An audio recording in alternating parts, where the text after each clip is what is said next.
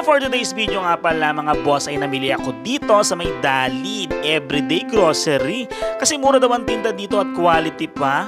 Kaya naman mag-grocery lang naman ako ng a little bit dahil low budget lang tayo ngayon. At bumili din kasi ako na nagtre-trending ngayon na chocolate na lasang original daw at lasang Cadbury. Totoo ba talaga ito? Ang Sugar 10 chocolate for only 60 pesos. Ang mura nga. At lasa daw ito, sabi nila sa TikTok at sa Facebook, lasa daw itong Cadbury. Malaman. Kaya ito-testing natin. Nakita niyo naman siya. Pinili ko nga pala yung Alpine Milk Chocolate. Pero meron siya tatlong flavor pa. And then, bumili din naman ako ng malaking chocolate nila, yung Chocofan. Yan, nakita nyo naman naglalakihan yung dalawang chocolate na yan. Ang isang flavor niya is caramel chocolate. Yan, na may peanut at yung pinili ko itong cookies and cream. Yan, na pagkalaki-laki. For 119 pesos lang. O, nakita nyo naman, ducks yung laki. Oh, bongga. At kaya dumiretso naman ako ngayon sa cashier para magbayad ng aking mga pinamili. At nakita nyo magkano kaya ang presyo ng lahat ng iyan. At ito na nakita niyo naman po ako na na po nagpapak ng aking mga pinamili. Nakita niyo naman kung sa mga hindi nagtatanong dyan, dati akong bagger ng SM o nakita niyo ang galing kong magkamada pero hindi nakikita sa camera. Ang total nga pala ng aking napamili ay 800 pesos. Goods na ito sa 3 to 5 days na pagkain namin ng aking pamilya. O diba? Bongga. Ito nga yung chocopan at yung sugaten. Paki-comment down below, tama nga ba talaga yung pronunciation ko ng chocolate na to? Ha?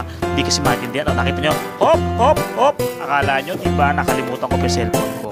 The moment of truth nga, tikiman na ng nabili nating chocolate sa may uh, Dali. Titikman natin kung masarap nga siya.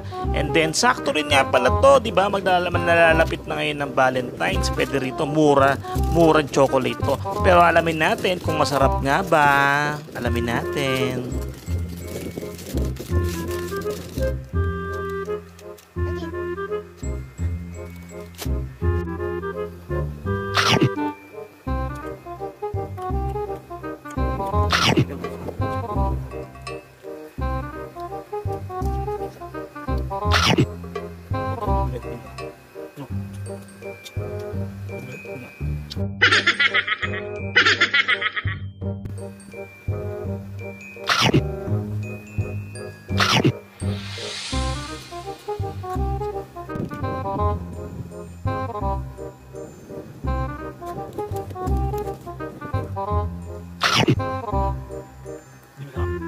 Pengi ako.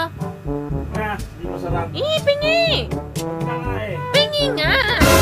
Hindi nga masarap eh. Ay, di. Hindi masarap. Hindi masarap. Halata